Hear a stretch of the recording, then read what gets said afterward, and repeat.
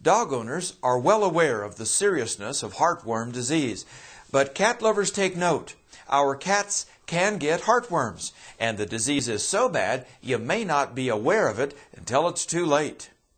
Buzzing around our pets, mosquitoes can carry a potentially deadly infestation of parasites, the dreaded heartworm disease. Most dog owners take steps to prevent heartworm disease and have for decades. But cat owners are sadly unaware of this illness or its fatal consequences. Heartworms normally live in the heart and lungs of dogs, but it's possible for them to live in our cats too. More common than feline leukemia, heartworms are often missed in cats due to the non-specific symptoms or even no symptoms at all.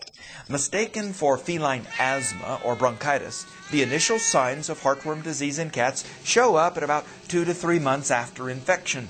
An observant owner might hear some coughing during this time. After a short lifespan of just two to three years, adult heartworms will suddenly die, potentially causing fatal embolisms in the cat.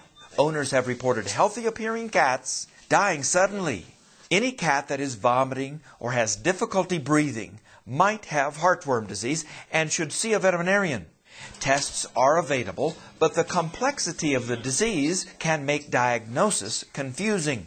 What's worse, if your cat has heartworms, veterinarians do not currently have any approved treatments. There's good news though. Like many things, prevention is often the key. Your veterinarian has monthly oral and topical products that will keep your cat heartworm free. Ironically, indoor cats are at a slightly higher risk to develop heartworm disease than their outdoor cousins. So all cats in heartworm areas should be on preventive.